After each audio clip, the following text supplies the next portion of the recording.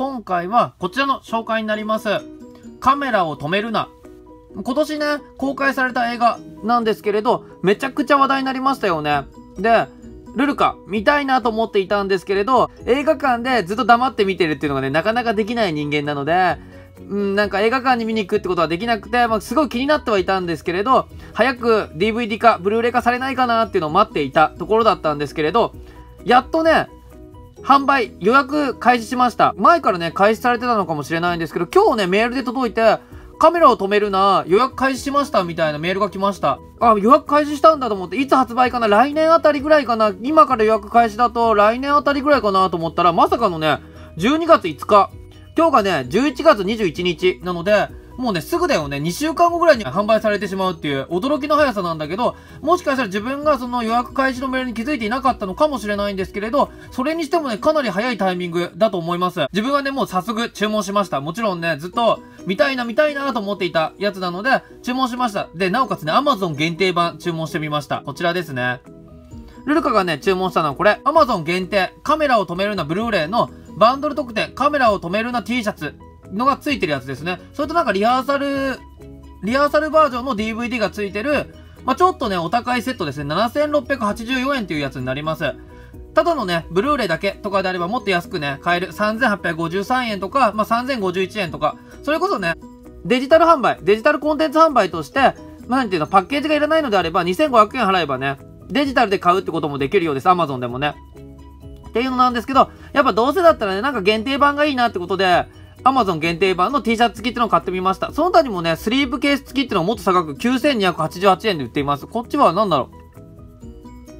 あ、これはね、なんか、この監督ですか？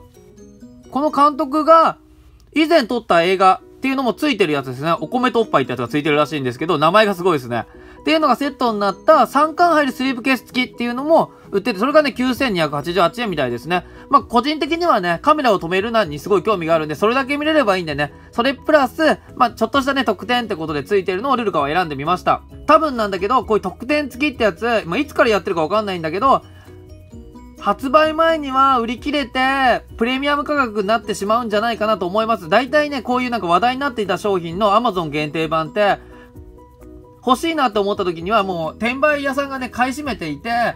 定価超えじゃないと買えない状況になるってことがね、もうかなり多いんですよね。なので自分はまあ速攻とりあえず今の状況で、今の状況なら買えたので T シャツセット買ってみました。そういう感じでね、限定セット欲しい方であればすぐに購入するのをお勧めします。早めに購入しないとね、予約しておかないと、その転売屋さんたちの高値で買うことになってしまうんで。